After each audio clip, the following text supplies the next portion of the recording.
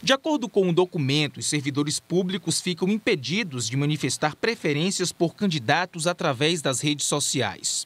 Também está proibido o uso de roupas ou qualquer identificação de candidato ou partido político.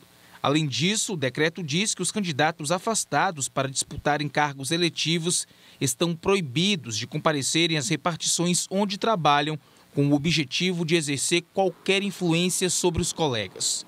O governo justifica o decreto alegando o cumprimento e o respeito aos princípios da legalidade de interesse público.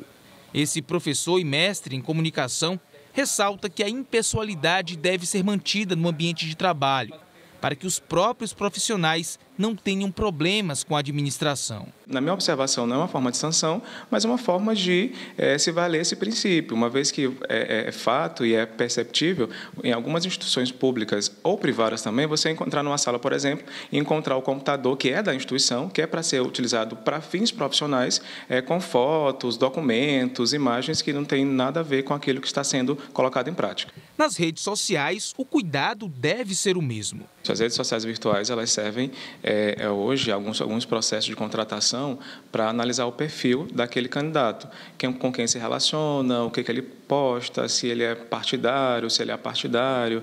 Então, to, e todas essas informações são importantes. O educador físico Moab Macedo é um exemplo de profissional que procura não expressar opiniões polêmicas nas redes sociais.